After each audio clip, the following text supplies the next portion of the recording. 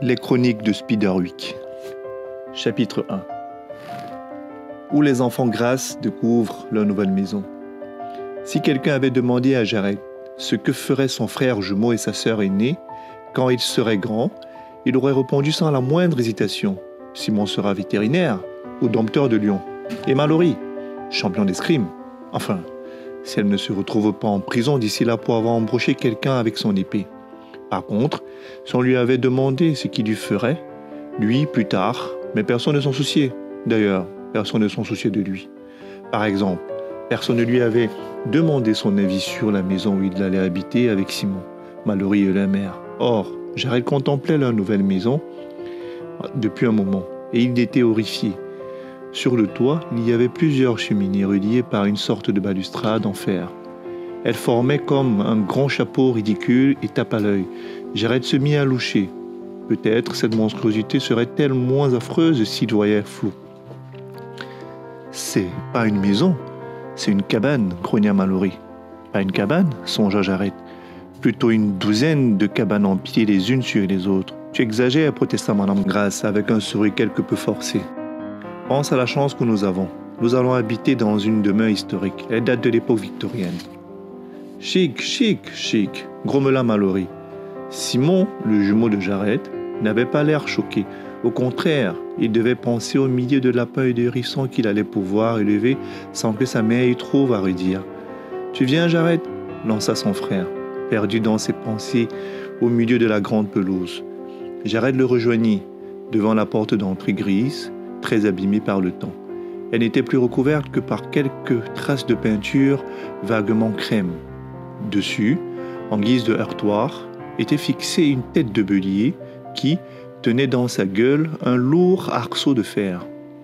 Madame Grasse introduisit une clé dentelée dans la serrure. Elle fit coulisser le peigne et donna un bon coup d'épaule. La porte s'ouvrit, dévoilant un couloir sombre. Son unique fenêtre donnait sur l'escalier. Peinte à la façon d'un vitrail, elle projetait un halo rouge sinistre. C'est exactement comme dans mes souvenirs, commentant Madame Grasse, ravie. En plus miteux, non? demanda Mallory. Pour toute réponse, Madame Grasse se contenta de soupirer.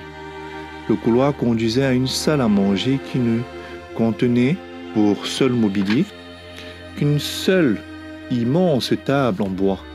Dessus, les traces de verre avaient commencé à de disparaître. Un nuage de poussière se leva quand Madame Grasse eut l'audace d'y poser sa valise. Le plafond, en plâtre, était fissuré par endroits. Au milieu pendouillait un chandelier. Il ne tenait qu'à des fils électriques usés. Heureusement que votre grande-tante Lucinda nous a proposé ce refuge, s'écria Madame Grasse.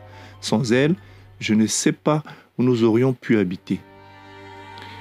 Nous devons lui être reconnaissantes. Un lourd silence accueillit cette belle déclaration. Malgré ses efforts, Jared ne se sentait pas reconnaissant, loin de là. D'une façon générale, il n'était pas d'humeur à être reconnaissant. Reconnaissant de quoi, d'ailleurs? Depuis que le père était parti, sa vie allait de travers. À l'école, il s'était battu.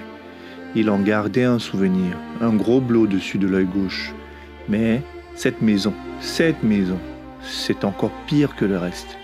Et si vous rentriez les affaires qui sont dans la voiture suggéra Madame Grasse. Simon et Mallory obéirent. Jared les suivit en traînant les pieds. Et sa mère le retint. Jared. Qu'est-ce qu'il y a? Madame Grasse attendit que Simon et Mallory aient disparu dans l'entrée pour continuer. Nous avons une occasion rêvée de prendre un nouveau départ. Chacun de nous, d'accord? Jared acquiesça. La mine renfognée. Il n'avait pas besoin que sa mère précise sa pensée. Grâce au déménagement, il avait évité de justesse l'exclusion de son école. Encore une raison, soi-disant, d'être reconnaissant. Mais, décidément, non, il ne l'était pas. Vous savez quoi? dit Mallory au garçon en sortant deux valises du coffre. Il paraît qu'elle se laisse mourir de faim. Qui ça? Tant Lucinda? demande Simon. Bof, c'est juste une vieille toquée, lâcha Jared. Mallory approuva. J'ai entendu maman parler d'elle au téléphone. Elle expliqua à tonton Terence que Lucie ne mangeait pas de nourriture qu'on lui donnait à l'asile. Il paraît qu'elle préfère celle qu'on lui apporte des petits hommes. Elle a dit au docteur qu'il n'y avait rien de meilleur. Pouf, tu racontes n'importe quoi, lâcha Simon. Il soupire devant l'une des valises et l'ouvrit. S'il meurt, continua Mallory, quelqu'un héritera de cette maison et nous devrons redéménager. Peut-être qu'on retournera à New York, suggéra Jared, plein d'espoir. Dans tes rêves, oui, répondit Simon en inspectant ses affaires. Soudain, il poussa un cri. Oh non, Jeffrey Et citronnade. Enfin un trou, ils se sont enfuis. Maman t'avait dit de ne pas amener tes souris, retorqua Mallory. Elle t'avait promis que tu aurais des animaux normaux maintenant.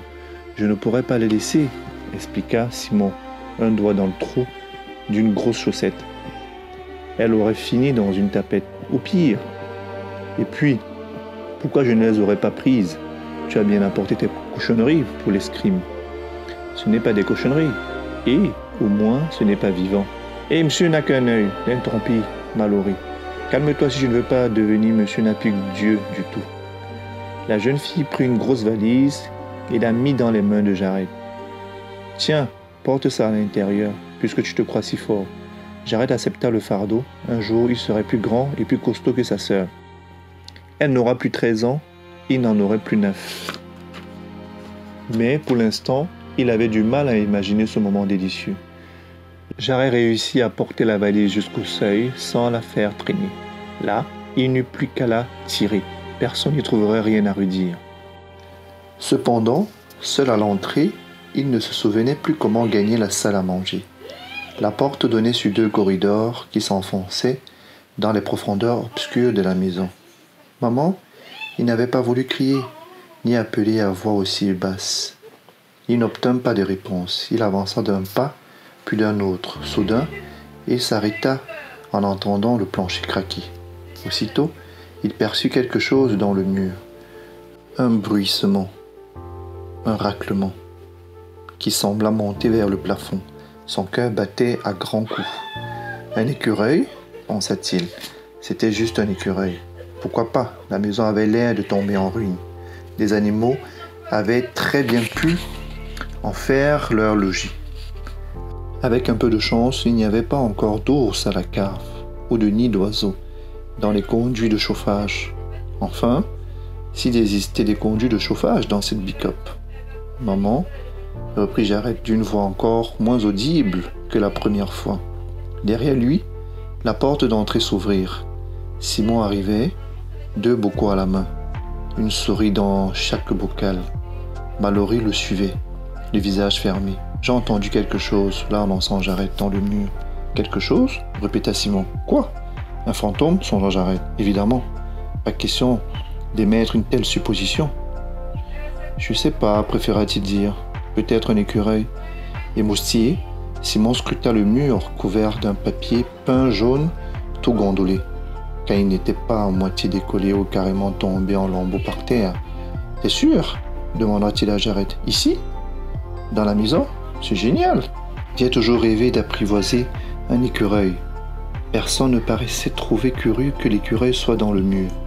Aussi, Jared choisit-il de laisser tomber. Pourtant, en traînant sa valise derrière lui, il ne put s'empêcher de repenser à leur minuscule appartement new-yorkais. Il y était tellement bien avant le divorce. Si seulement il pouvait n'être ici que pour des vacances. Si seulement il n'avait pas déménagé dans ce coin perdu pour de bon.